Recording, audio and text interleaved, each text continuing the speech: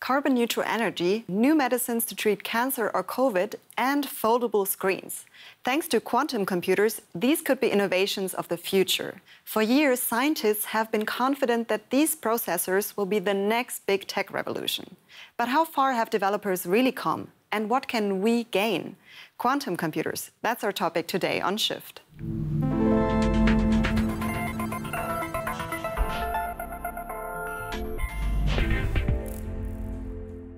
Quantum computers won't be replacing our laptops or smartphones. But apart from developing new medicines and materials, I think one aspect is especially interesting. Quantum computers can perform complex simulations, like predicting extreme weather very accurately. Across the globe, developers are trying to create computers with the highest amount of qubits. A qubit is the most basic unit of quantum computing. The more qubits a computer has, the more information it can process. Many companies like IBM and Google are competing to develop the most advanced quantum computer. Google's quantum computer recently simulated a wormhole, the holy grail in physics. So what are they doing in these quantum labs? After sending countless emails, we were finally able to visit the Google Quantum AI Lab in Santa Barbara in the US. An incredible experience. Outside, the sun is shining, Inside the lab, some areas have temperatures of minus 273 degrees Celsius. The lab is run by German scientist Hartmut Neven, widely recognized as a pioneer in quantum computing. This somewhat unremarkable building is where Hartmut Neven wants to revolutionize the tech world. It's located on a separate high security part of the university campus in Santa Barbara, California. Here, the German scientist and head of Google's Quantum AI Lab is working on a processor that could solve all the problems a classic computer can't. Let's start with what I think many would agree is the most pressing problem of our time, that is uh, climate change. It would be marvelous to have a nuclear fusion reactor.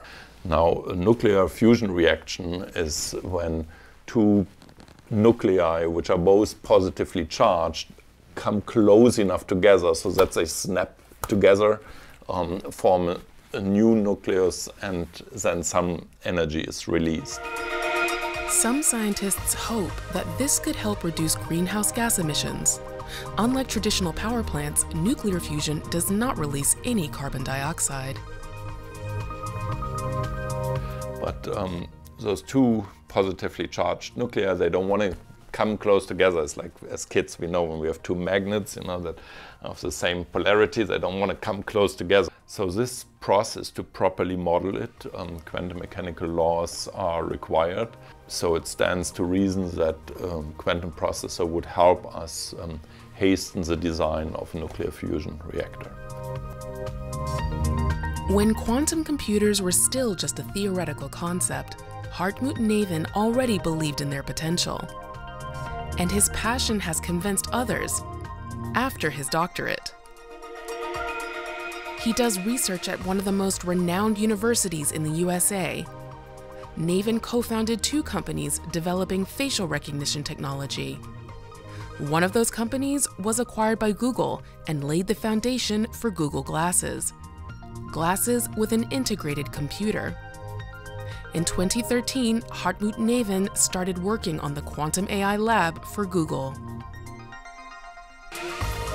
I have um, spent many years in the field of um, computer vision and machine learning to train a machine learning system, to train um, a neural network, for example, to recognize certain objects in an image.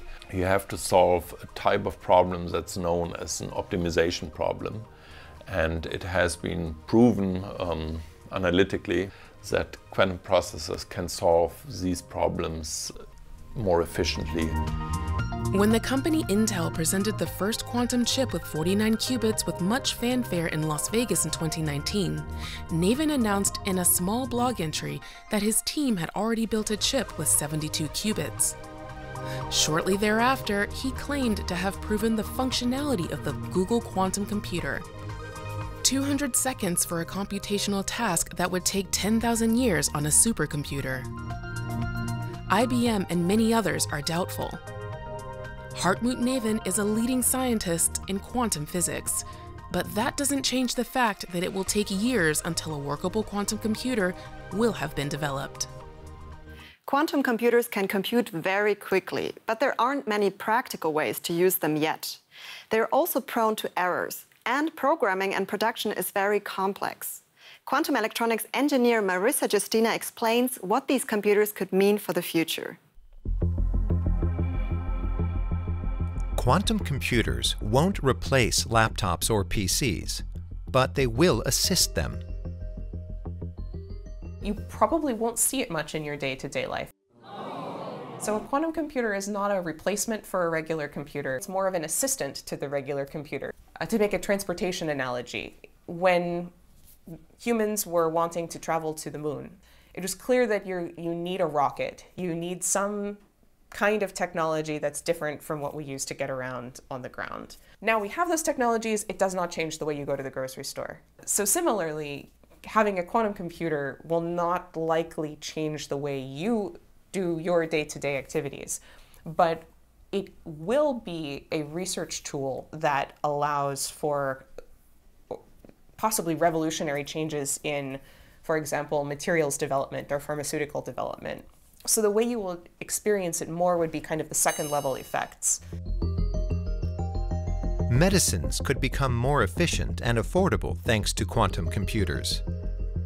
They can simulate molecular structures in a matter of seconds and calculate the combination of active ingredients, which could replace testing them in laboratories. This would enable pharmaceutical companies to develop and release medicines much faster. We can also benefit from quantum computers when it comes to traffic. The quantum computers are able to process very large amounts of data in seconds. They could calculate routes, taking traffic lights and speed limits into account, keeping traffic flowing. Future quantum computers will be good at testing many different scenarios to find the best one. Why are they more efficient at this than so-called supercomputers? Well, they use the rules of quantum mechanics, which apply to microcosmic processes. The principle of quantum mechanics suggests that particles can exist in two separate locations at once, having the value of 0 and 1. Sounds too complicated? Check this out. Laptops, calculators, or smartphones. They all use the information unit bit, which can appear as either 1 or 0 quantum computers use the laws of quantum physics instead and work with quantum bits or qubits. Rather than switching between 0 and 1, qubits can be both simultaneously or appear as something in between. This principle is called superposition and can be explained by using coins. To represent one bit, heads or tails need to be on top. It's clear 1 or 0 to represent a qubit the coin rotates. Rather than being limited to either being heads or tails, the coin is both. Quantum computers can calculate simultaneously, where conventional computers calculate sequentially. This makes quantum processors fast and efficient. More qubits mean more computing power. This computing power rises exponentially according to the number of possible states. One qubit can take on two values simultaneously, two qubits can take on four, and 20 qubits can take on more than 1 million. Quantum supremacy. In tech circles, that's what they call the point in time when quantum computers will have overtaken supercomputers. Scientists around the world are competing to create chips with the highest amount of qubits. The technological challenges are huge. So far, Google's quantum computers only work in lab conditions, in extremely cold temperatures and isolated from the environment. Quantum electronics engineer Marissa Giustina is responsible for creating ideal conditions for the qubits at Quantum AI Lab. So this hardware actually is just a refrigerator. It's warmest at the top and it gets colder as you go down. People often show pictures of some system that looks like this and they think, oh, look at that big quantum computer. Actually, the only thing that's quantum in there is this small silicon chip, which is down inside some layers of packaging in here. The quantum chip is just as big as a fingernail. It sits at the bottom of this nearly two meter long construction of cables, metal sheets, and conductors. Marissa Giustina's responsibility is to make sure that everything is connected properly. She runs the so called device packaging team.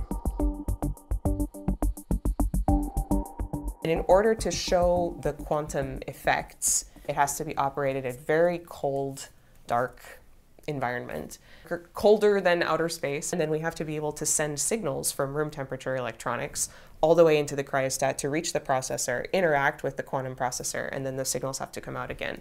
And I'm responsible for getting that processor to be in a good environment where the qubits can operate at their potential. Welding the technology onto the chip requires clinical precision, and building quantum computers has more challenges. Since they use different laws than normal computers, they are also extremely difficult to program. How do we control the control signals that we send in? How do we make sense of the measurement signals we get out and use them. There are a number of different technology areas that we need to develop, each of which has a little bit of, of ambiguity in it, or sometimes a lot of ambiguities.